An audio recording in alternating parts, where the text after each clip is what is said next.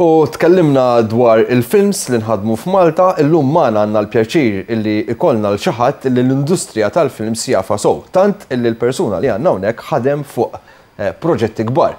Ġili rajtu Kung Fu Panda, per eżempju, il-senjur li għanna unek ħadem ma' DreamWorks u fost oħrajn ħadem anka fuq dawk il-proġetti. Andrew, good morning. Lodwa tajba. Thank you very much, Leader Kukol. Thank you for inviting me on Mela, the show. Um, uh, the interview will, will be conducted in English because um, Andrew, although uh, being Maltese, you have lived for quite some time abroad and you just recently came to Malta. It's, but you do understand a little bit of Maltese. Iva, nifhem, nista' nitkellem ftit imma biex tkellem ħafna ma nistax. Of course, of course. Um, Andrew, uh, I, may, I refer to your impressive CV. Um, uh, you actually were part of the, you are still part of the uh, film industry, movie industry, um, uh, especially through your, through your past work with uh, DreamWorks. Yes, that's right. massive, a massive uh, company. And you've worked on, uh, I mentioned Kung Fu Panda just an, as, as an example, but you've worked on other um, high profile movies, right? Yeah, that's right. So I was based with uh, DreamWorks has an animation studio, which is in Glendale, which is Los Angeles, but part of Hollywood, they call it.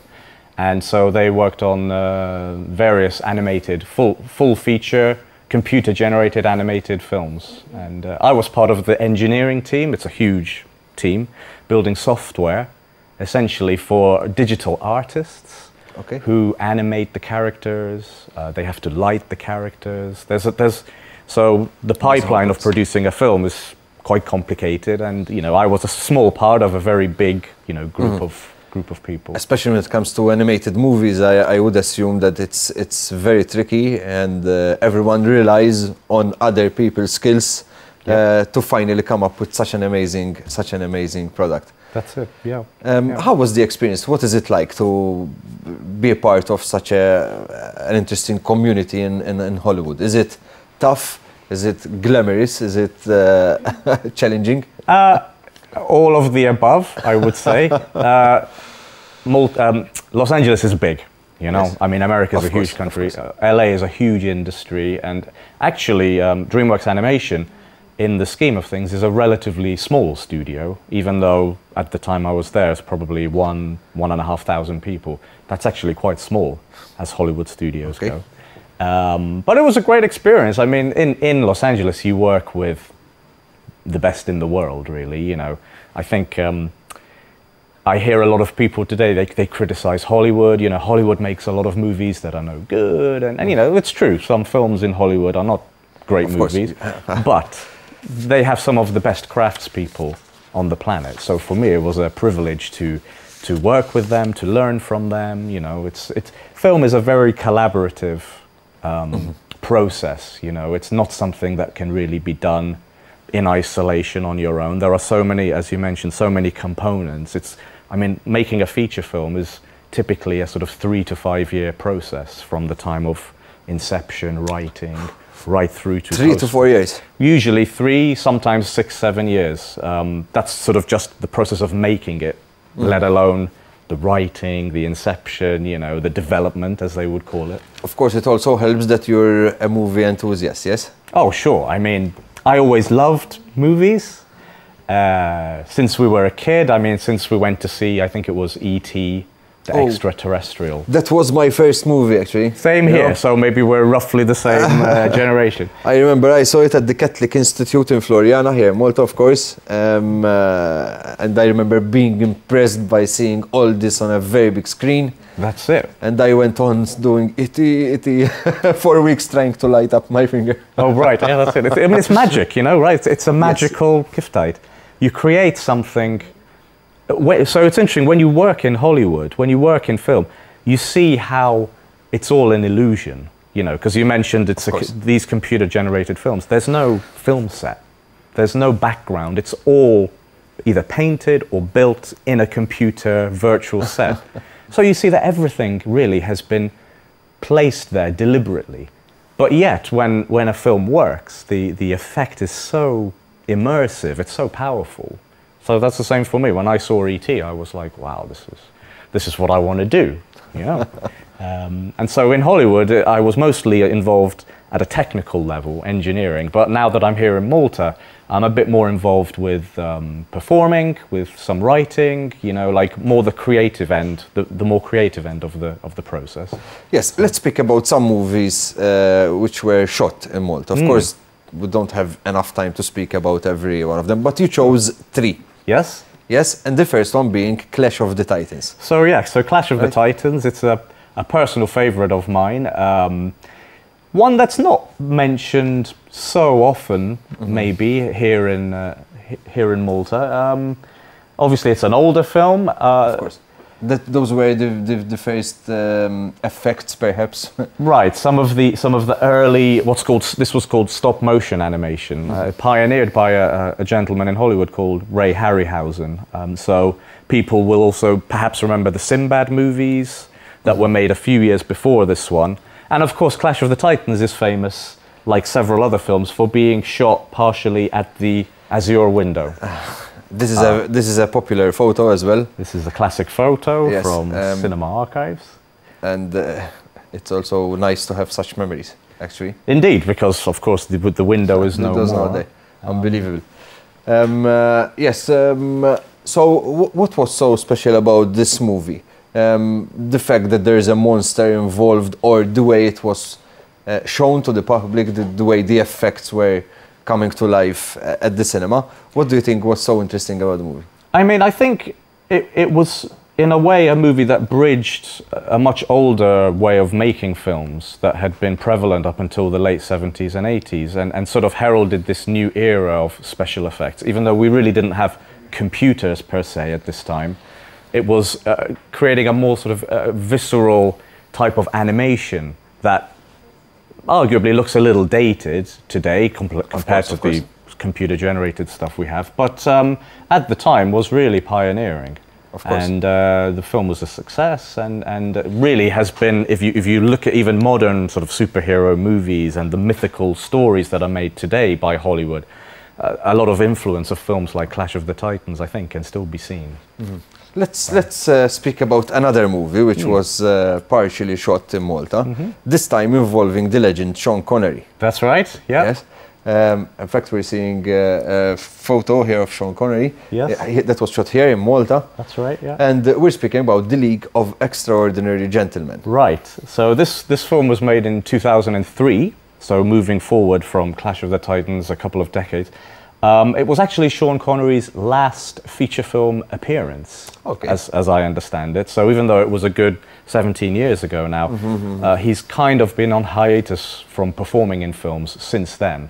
Um, so League of Extraordinary Gentlemen was by this director Stephen Norrington, who had made a film called Blade, uh, the vampire kind of superhero movie, uh, not shot in Malta. That one, uh, that one had been quite well received actually. Um, the League of Extraordinary Gentlemen was, I would say, less of a commercial and critical success.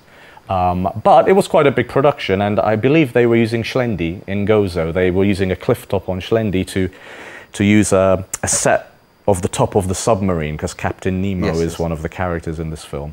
So, in fact, uh, you're seeing the submarine's um, top with the sea behind it. It's actually on a cliff top, although because of the way the, the, Yes, sh- yes, the shot was framed, it's made to look like it's, it's in the sea. So, Um, um, let's let's mention. I'm very sorry about the short time. Perhaps we need to meet again and speak about other movies and even the industry itself. with pleasure. Uh, probably thanks to guys like you, the special effects we're seeing today will look obsolete in a couple of years' time because you guys are really good at doing what you're doing and you keep improving. Let's have a look at one of the latest movies shot in Malta. Yeah. This time it involved quite a big. It was quite a big production for us. Right. Um, uh, let's see. Yes. Okay. This is the this is a photo whereby Michael Bay and the producers thanked Yes, uh, thanked uh, Mosta. This was part, oh, just a small part where it was where the movie was shot. But we're speaking about 13 hours. The Soldiers of Benghazi. It's based Correct. on a true story. Right. Right. And also, it was at a time when people were actually speaking about what happened uh, in Benghazi. This was launched, if I'm not mistaken, the same year uh, during which Obama and um, and uh, Clinton were being Correct. chosen for, for the president's race. Yes. And of course, there was much talk about what happened in Benghazi at that time. Absolutely. Yes, yes. So what's again? This was another huge movie here in Malta. Yes, yes. Um, is it because of Michael Bay or because of this story? I mean, Michael Bay is, is one of the biggest directors in, in working in Hollywood. This was, I believe, one of the biggest productions that's set up here. And it was think so. principally shot in Ta' Qali, I believe, which is actually part of the reason I chose it is I live in Mosta, so I'm quite familiar with those With uh, the area. surroundings. Um, now, it's a war film for people who hasn't seen it. It's essentially about a, a siege on this embassy in, in Benghazi. So they built a virtual, a, a, a complete set in Ta' Qali, which could be used and, and uh, destroyed because you know they were setting off explosives, gunfire. Obviously, they can't use real buildings that are course. of historical significance in Malta. Uh, so it was a, it was a very big, production, and actually I have several friends and colleagues who were involved as extras or who had you know parts acting in the movie. What typically happens is when a, a Hollywood team comes to somewhere on location like Malta, they'll usually bring most of their own crew, and principal cast members will have already been decided on and brought with them. But typically, there are extras and featured extras roles uh, that they cast locally. So the casting agencies here will typically be involved, and, and they'll bring a, a number of local actors and performers to get involved with the production, alongside, of course, local craftspeople, artisans, set designers. You know, that, so these productions, when they come to Malta, they're they're big employers for the local, Of course, of course. for the local community. It's a nice way how to earn uh, the quick buck. You know, it's it's like Yes, uh, yes. you're earning something extra at the same time having fun.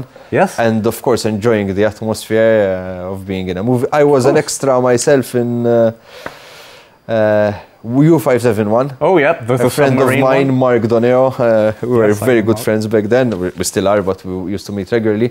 The moment we heard that Bon Jovi was going to play a part in it, we did our best to to be part of the extra Sure, crew. sure. And also in Troy, and it was always an amazing experience to see how they build the, the set, how they do it. You know, it's incredible. It's it's magic, really. It's, It uh, is, it is, it is indeed. Yeah. Um, you know, uh, a, a big difference that that, that plays a huge role in, in how a movie looks, how much people it is, is of course the budget. Yes. And that is determined, I believe, but uh, correct me please if I'm wrong, Hmm. by the ones producing the the movie. So how, how does it how does it happen? Do I have an idea about a movie, write a script, and then go around uh, the different production companies trying to sell it off? I mean, that's one way to do it. There, there are many ways to do it, and, and th- that, is, that is one way to try and get, especially if you have a, a larger production made. But the interesting thing about living in, in our times today is that, in a way, the, demo, uh, the technology has democratized filmmaking, like so many other arts. It's, it's now relatively inexpensive to buy equipment, to, to put together a team who can produce something that looks quite good.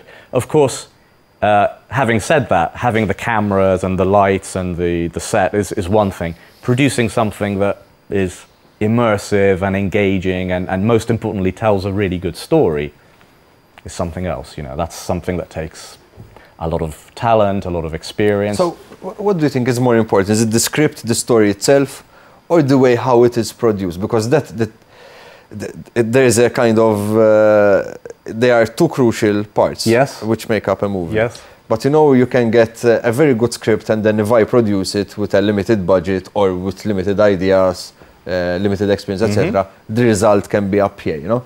But then if I give the same script to someone who has access to experience and enough budget, it's different. Can turn into a big blockbuster. Sure. So, what is the most important part? Is it the script, or is it the I mean, there are many possible. I, I have a theory about that. M- My feeling is that the best actors working with the best director um, will have a very hard time making a bad script look really good as a film. Okay. On the flip side, um, a really well written script will work to an extent, even if the performance and the production are relatively modest. Do you know what I mean? I Mm-hmm. Feel yes, like yes. uh, script writing is a difficult thing. Uh, It's, it's all about believability and flow of the narrative. And if it's well written, even a relatively inexperienced actor or group of actors can still make a film that looks really good. Actually, we see it even on social media. You know, why does a video on YouTube have one million hits Yeah. and another one which might be better produced Yes. uh, ha- has much less. You know, why, da- why do they register different? So I think yes, you're in fact right. It's, it all depends It's a theory. I on mean, how on how uh, you hear or how one tells uh, a story at the end of the day. Uh, thank you very much for joining us. It has been immensely uh, a great pleasure for us to, to have you here today. Uh, well. very nice uh, conversation. I hope to meet again, perhaps for the benefit of our um, audience, you know, uh, to discuss some other movies. it Why would be my pleasure. Please, please, please do. I'd love to come back.